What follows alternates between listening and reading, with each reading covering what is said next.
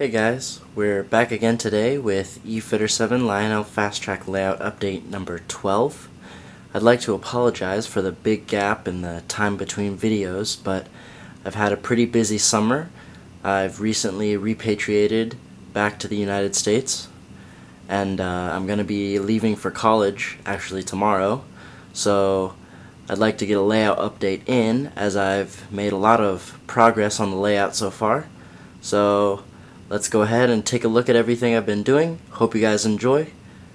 So let's get started. Starting on this portion of the layout, I've been taking care of a lot of big projects around the layout, as well as some smaller things here and there. So the first thing you may notice is I've actually begun to weather all of the rails on my track.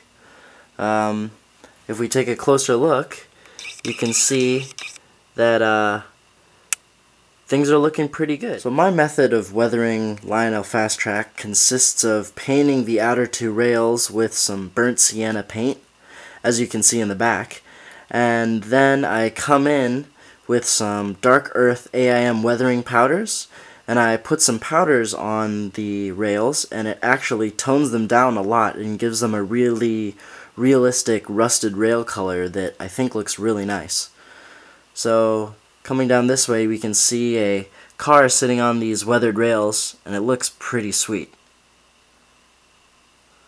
And like I said, I've weathered uh, all of the track. I painted all of the tracks so far, but I'm yet to add the powders to everything. As we move down from this section of the layout where not a whole lot has changed, um, I have had some more thoughts about what I'm actually going to do in this area. The intermodal yard is going to stay the same, but where there's this break in the shelf, I'm actually going to do what Josh, NS Modeler 24, did on his layout and uh, build a little centralized snow scene. So instead of having to repaint this rock face here and uh, mess with these trees and stuff, I'm actually going to leave them the way they are and I'm going to add some snow and other things here and really detail this up into a snow scene. So as we go through this tunnel, I'll show you some more things. Coming out of the tunnel and into the Indiana farm scene, not a whole lot has changed. I have started adding a little more ground cover in this area. I've actually detailed it with a little bit of static grass and some different colored turfs and I'm using real dirt as a base layer and that has been working pretty well for me. I really like the results. So moving down this way we see that not a whole lot has changed. But like I said in the back, I have weathered the rails. And in this area, I'm actually going to add a thick forested grove of trees that kind of covers up the the view, kind of like a scenic break, and uh, that'll kind of hide the train as it disappears into this tunnel. One quick side note here, this is a tree that I've made and uh, to make this, I've used Joey Ricard from Trackside Scenery. I've used his quick trees technique. So I went out into my yard and found some sticks that look like good tree armatures, and I've come back and used some furnace filter and uh, attach that onto the tree with some spray adhesive, and then come back with some sticky dollar store hairspray and attach some assorted ground foam and uh, I really like the result. I think it'll look good when I add a bunch more trees in this area. And uh, yeah, I can show you a little more about this technique in a little bit, so stay tuned guys.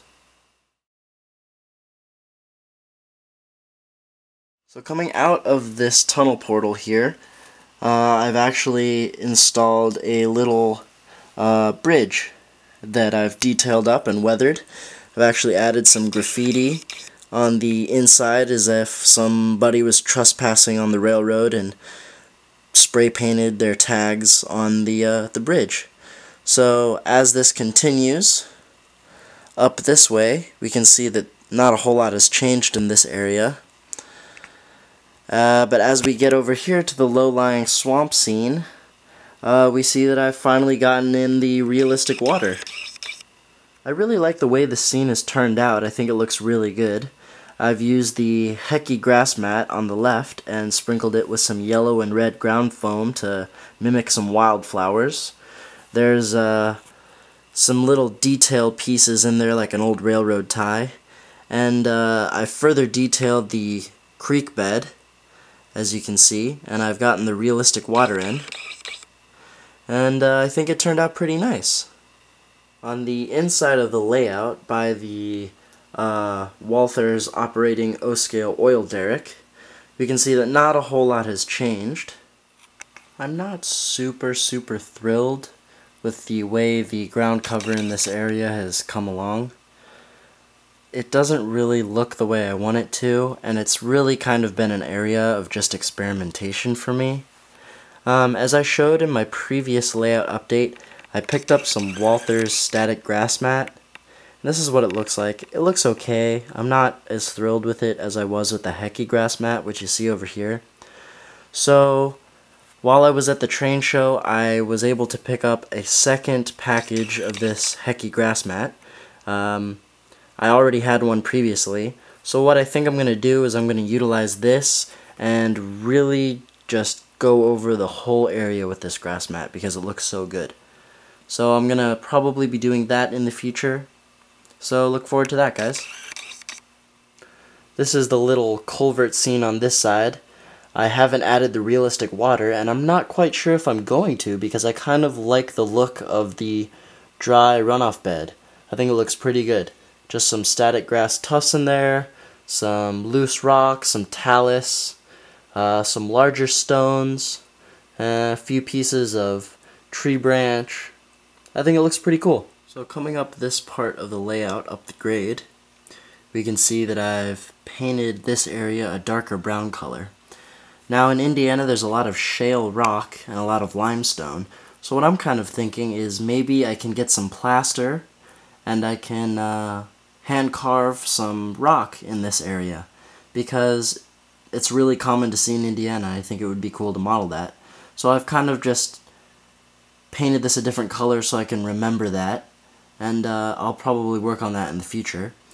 And moving along this way along the main line, I've filled in this area here because there used to be a large section where the FasTrack overhung on the uh, the hill part and it really didn't look realistic. So what I've used is some wall patching, some drywall patch and a lot of spackleding. And I've used the drywall patch to help give the spackleding some support and uh, I've just blended it in on top of the existing scenery and I've painted it a kind of earth brown color as well.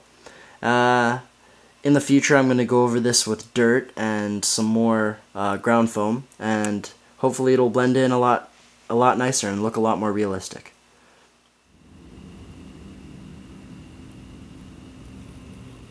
I don't mean to jump around so much, guys, but I really like the way this pine tree is turned out in the back, as well as the pine trees that are uh, up here by the small pond. These trees all actually began life looking like this uh, snow-covered tree that's gonna go over in the snow scene over there. What I've done is I've used a pair of scissors to kind of uh, give them a more ununiform shape and then I spray them with a dark brown colored spray paint and then I spray them down and give them a thick coating of uh, dollar dollar store hairspray and then I sprinkle them with some Woodland Scenics fine ground foam. Uh, as you can see, I'm still working on a couple of them right here. I'm still letting the spray paint dry, but uh, that's that. And uh, after I add the ground foam, I'll have some more great looking trees. Here's a closer look at that pine tree. I think it really looks nice. As you can tell, um, I've weathered all of the track except for two of my uh, Lionel and that's just because I'm kind of holding off on it for now because I'm not 100% sure if I want to weather them or not. Eventually, I probably will, but for right now, I'm just holding off on that. Moving down this way, you can see that I've added more ground foam, and I've done some ballasting on the main line in the back, as well as continued weathering the rails. So, taking a look through the S-curve, you can see that the scenery is really starting to come together and things are really looking good. Here's looking at the S-curve from another angle. And uh, in the background you can see that I've done a little bit more ballasting on the yard tracks. I've used a different color and different grade of ballast to kind of show the transition from mainline to, I guess, spur tracks or yard tracks. So that's kind of what I've been going after. And uh, on the front stall of the car shop, I just have two uh, MTH Rail King SD70 ACEs uh, sitting at idle.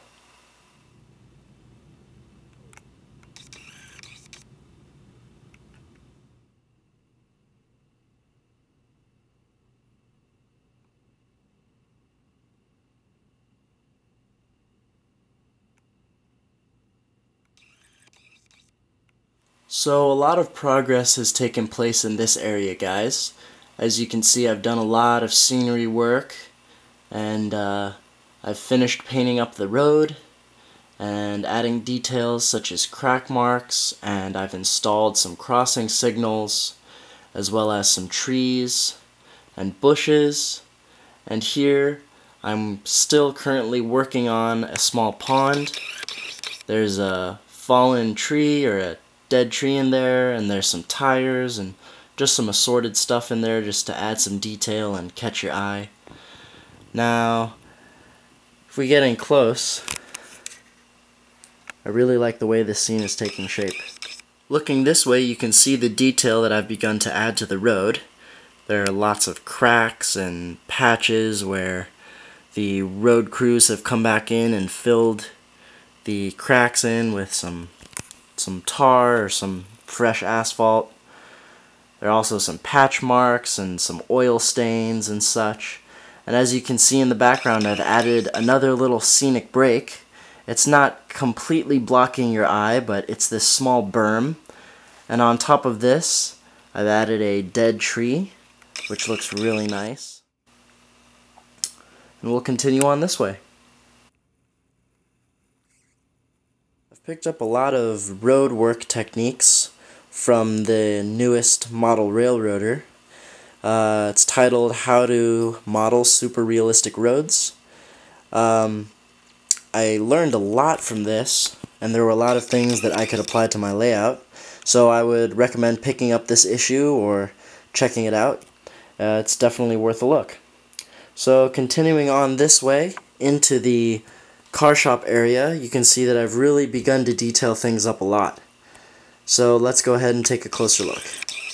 I've added a little sand pile here by the sand tower, and I've added a piece of tubing onto this Lionel sand tower to extend it down so it looks more realistic for loading up uh, locomotives with their sand. Here's another look at the sanding tower and the pile of sand that's there. You can see all the oil in between the tracks where engines or locomotives have sat at idle and the oil or grease has dripped from them.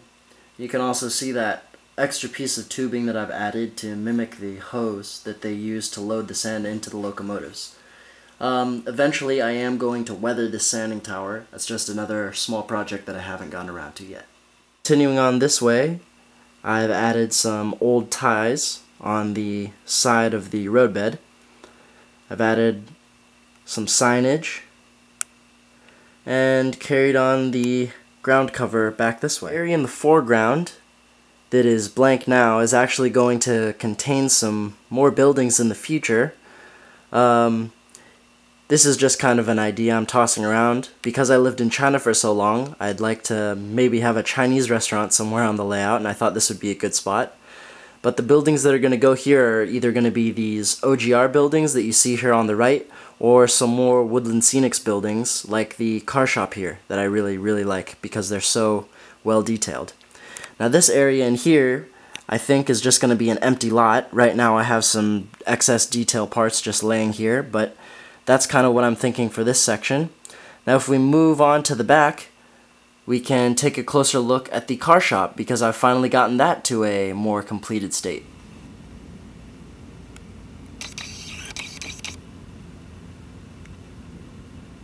Looking here at the car shop, you can see that I've finally gotten the foundation painted. And if we look inside, I've begun to detail the interior. I've actually left the roof um, not glued down permanently so I can remove it and show you guys some of the interior detail that I've added. I'm still tossing around the idea of lighting the interior of my structures, so for right now there are no lights inside.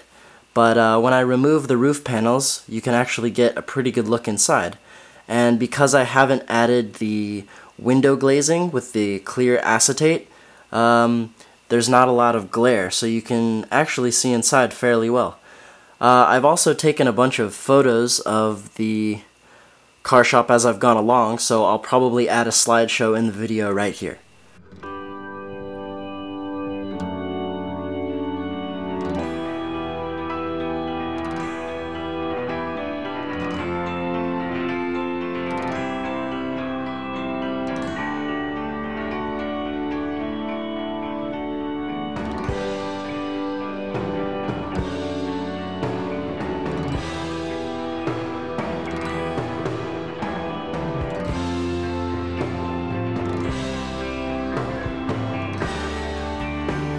So if I just slide this panel down like this, we can gain access into the car shop.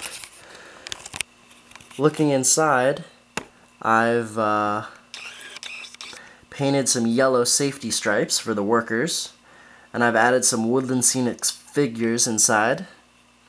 There's some men doing some welding, and there are a bunch of other detail parts, like some tanks. There's a ladder. Uh, on the other side, there's a work table with some tools on it, some plywood, uh, some some trucks, some side frames, and in the back here we have some wheel sets that are getting some work on. Maybe they're replacing the roller bearings or something, not sure. But uh, yeah, the, there's a well car getting some work done, and there's two Norfolk Southern SD70 ACEs that are just sitting at idle there. Gonna be hard to get back into this section because there are a lot of things stacked up. Like I said, we've just moved back. But uh, right here is where I'm thinking to have that basketball scene. Because uh, as I've said in previous updates, basketball is like a religion here in Indiana, so I definitely needed to have a basketball scene somewhere. But I'm going to do a small basketball court in this area. I'll probably pour out a concrete pad with some Woodland Scenic Smooth It, or I'll use some joint compound or something. But uh, yeah, that's my plan for this area. Um, I may also have a road that runs in front of that small ranch house over there. And uh, I'm not quite sure where that will lead. Maybe it will come around this way, or just veer off the edge of the layout into nowhere. But that's sort of my plan for this area, but as you can see, not a whole lot has changed. So, other than a few more things that I've collected to hang up around the layout, not a whole lot has changed. Um, like I said, I'm going to be going off to college tomorrow, so I wanted to get this layout update out to everyone. Um, I'm sorry I haven't posted a video sooner. I'll try to post more frequent updates now that I've moved back to the States. Um, but thanks for watching, guys. I really appreciate it. I hope you have enjoyed the layout tour and the layout update and all the scenery work that's been going on. I've really been trying hard to uh, get a very realistic look with my scenery because I think that is really important when modeling not just the railroad but the surrounding area. So if you guys enjoyed the video, please don't hesitate to click the like button. Leave me a thumbs up. I really appreciate it. Uh, and if you've not already, please subscribe to my channel. Thanks for watching, guys. We'll see you again soon. Have a good one.